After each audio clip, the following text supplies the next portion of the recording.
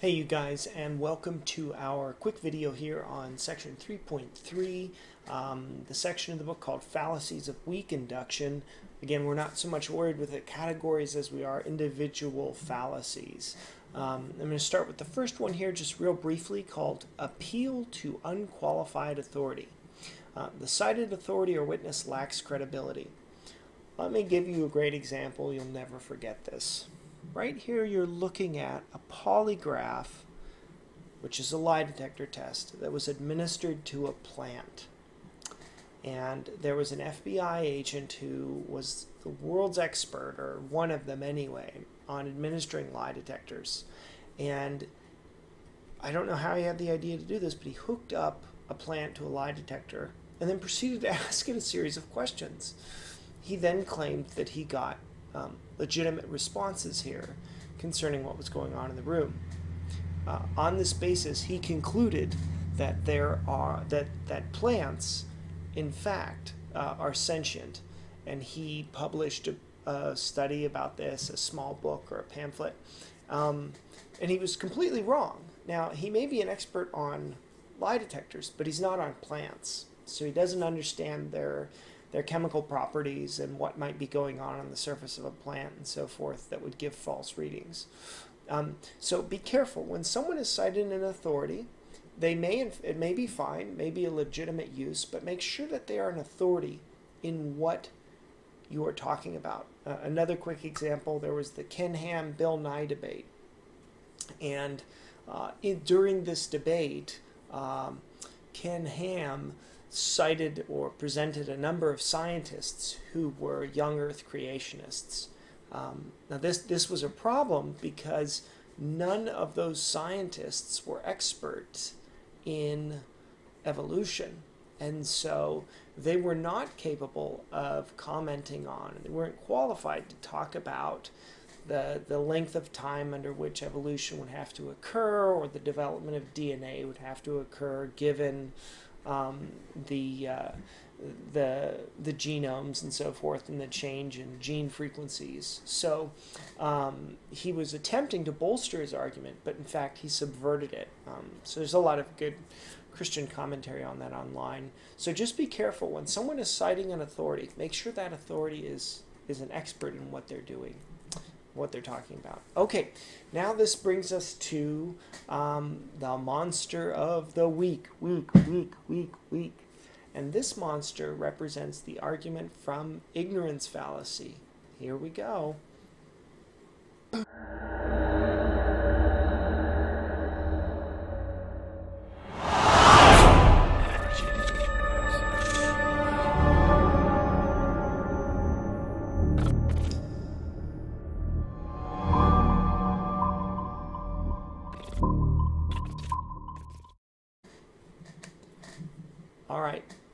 Monster this week is or are aliens. That's right, aliens, extraterrestrials from another planet. What does this have to do with anything? Well, it has everything to do with the appeal to ignorance, or otherwise known as the argument from ignorance.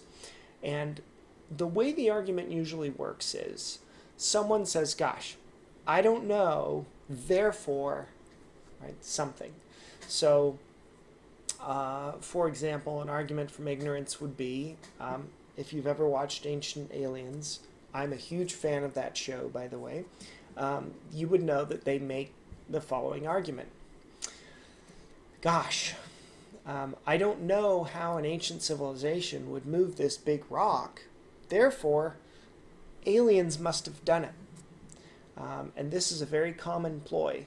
Um, they will say, "Gosh, I don't know what this is in a particular artifact of art, but it must therefore be aliens." Okay, so let's let's look at some examples of this, right?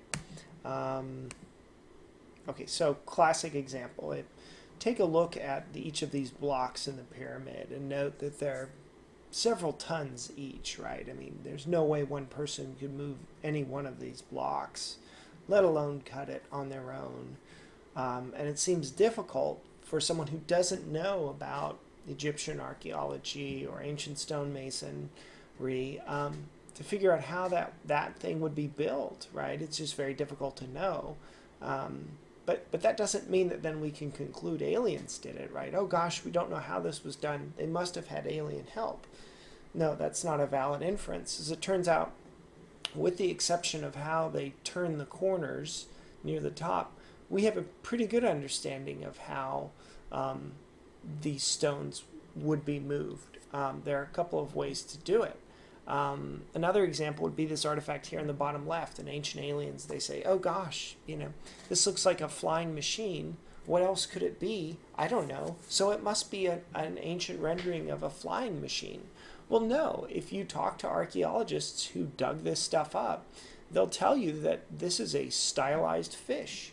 And there are lots and lots and lots of them, and they look real similar. And in fact, you could even relate some features of the fish to these anatomical stylings.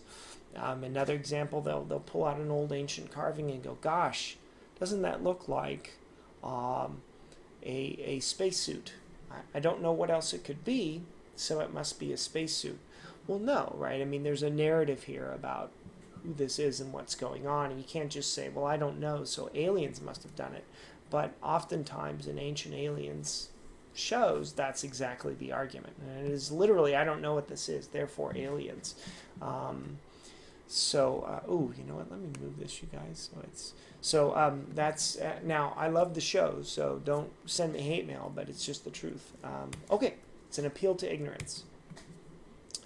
Next up, hasty generalization. Uh, this is a fallacy that affects inductive generalizations. How do we? What does that mean? Here's what it means. Um, I don't like Indian food. I ate it once. Well, maybe you did eat Indian food once, okay? And and and so you didn't like that Indian food, but you cannot then conclude, you cannot generalize that you don't like all Indian food. It may just be that you were eating southern Indian food and you love northern Indian food, or you just don't like that particular chef, right? I mean, people make food all the time that you don't like to eat. It doesn't mean you don't like that particular kind of food. Um, so usually there's some problem. You haven't looked at enough examples of something, and then you generalize over over the whole for hasty generalization. Okay, uh, remember I'll go quickly through these. You can stop, rewind, pause, and go back as you see fit. Next up, false cause. For false cause, I have a little icon here. I stole this from um, Thou Shall Not Commit Logical Fallacies. You'll see a snowflake here and a little pirate skull. Why? Here's why. Um, uh, a false cause is an incorrect claim that a real or imagined relationship is causal. So here we have a chart uh, which spots, spots uh, global average temperature and compares it to the number of pirates in the world. And you'll note that global temperature has been increasing as the number of pirates in the world reduces, right? So the idea is that pirates are keeping the, the earth cold. Um, and as we lose pirates, we are gaining in global temperature. Well, that's clearly false, right? But this happens quite often. People will look at statistical relationships and say, oh, well, look, as this one goes up, this one goes down, so there must be some type of relationship. No, not necessarily, not necessarily at all.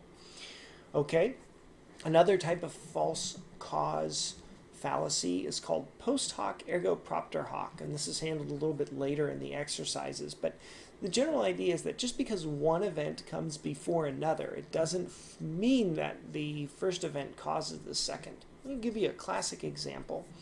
Um, I have family who believe quite devoutly in the power of rose water. And they'll say, Oh, you got a cold, take some rose water drink some rose water. Oh, you're not feeling, you've got the flu? Drink some rose water, right? Broken arm, drink some rose water. And, um, and, and they're convinced because what they'll do is they'll drink rose water avidly for a few days and then they start to feel better and they go well look obviously I, I drank the rose water and then i feel better but that's a fallacy right because we know that illnesses go up and down and that you will under normal circumstances, recover from an illness within a suitable period of time. So just because you get better after drinking rose water, it doesn't mean that that rose water made you feel better, right? Um, just because my arm eventually heals from being broken, it doesn't mean that's due to the healing powers of the rose water, right? So, so keep in mind, it, it's a fancy name. It just means, look, just because something comes after something else, it doesn't mean that um, that it is because of the second. Okay. All right. Um, another type of fallacy from causation is called oversimplified cause. Um, and usually, what happens is here you have a multitude of causes that are responsible for a certain effect, but the arguer is going to select just one of those causes and then say, well, that represents all of it as if it were the sole cause. So let's take an example here, and this is a, a very difficult image. It should, um, everyone should should be familiar with this. This is from the Columbine tragedy, um, where students, you know, obviously um, uh, killed a number of other students using automatic weapons. Um, a real tragedy in, in our nation's history, and, and obviously there have been shootings since. When there are these types of shootings, um, some people on both sides actually are, are very fond of saying, aha, well, uh, the, the culprit here are the automatic weapons alone, right? If we didn't have these automatic weapons, then this wouldn't happen. Um, and then people on the other side will say, oh no no no it's not the automatic weapon right? It's it's someone's mental health. And if they had better mental health then then none of this would happen. Each side want to pick one thing and say that this is the cause. Oh it is the guns. Oh it is their mental health. But they exclude the idea that it is both of them so obviously it's a concurrent cause right there are a number of things that cause this the guns obviously do but so does the mental health or lack thereof of the actors. And so when you are looking at an issue that's very complex, it's important to say, my gosh, is there more than one cause here? Now, that's not to say that greater gun regulation wouldn't result in, in you know, fewer number of tragedies. It's not to say that more funding going into mental health care wouldn't result in less tragedies. It's just pointing out the claim that we don't want to oversimplify the causes in a in an argument. Okay, let's see. Let's go back. Okay, here we are. Uh, next up, gambler's fallacy. Um, this is an easy one to remember, um, and it's. I, I don't know how heavily we'll test it, but you may get a test on it. Here we go. Um, the conclusion of an argument depends on the supposition that independent events in a game of chance are causally related. What does that mean? Every time you go into a casino um, and you see a roulette wheel, you'll see a list of, of what it has done, you know, in the last 20 turns or something, right? And it'll say red, black, red, black, black 13, black, whatever. And, and people look at this list and they say, oh, well, it's already hit on red two times in a row so obviously, the next time it's going to be black.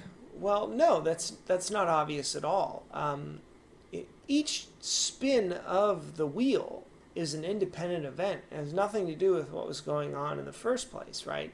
Uh, a great example of this was um, in Monte Carlo um, in in 1913 on August the 18th. They were playing roulette, and that wheel, no joke, hit black 26 times in a row.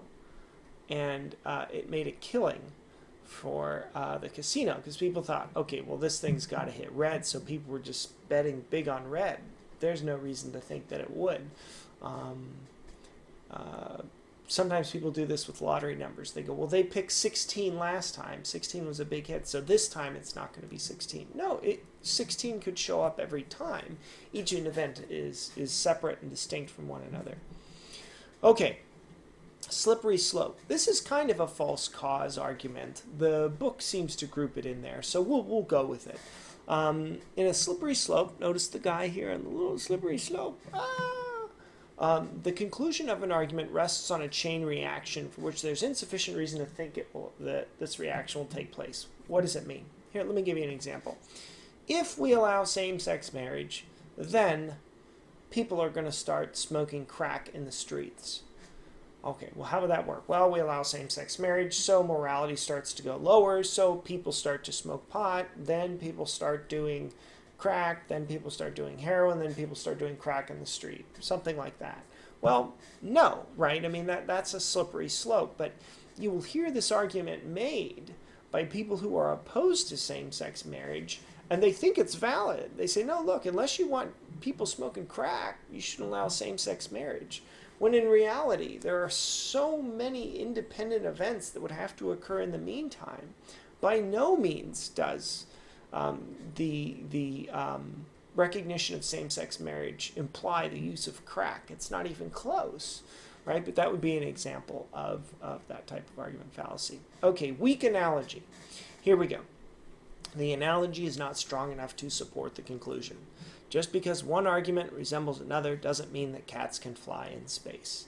That's a great way to put it, right? So uh, I will save an example of this for the video exercise. You have one in your um, in your exercise. It, it, goes something like this. Look, uh, just because, just as a mechanic doesn't have a duty to stop and, and help someone on the side of the road. A doctor doesn't have a duty to stop and help someone on the sidewalk who's having a heart attack or something like that. Well, um, look, no, those are not analogous because the role of a physician is very different than the role of a, of a mechanic.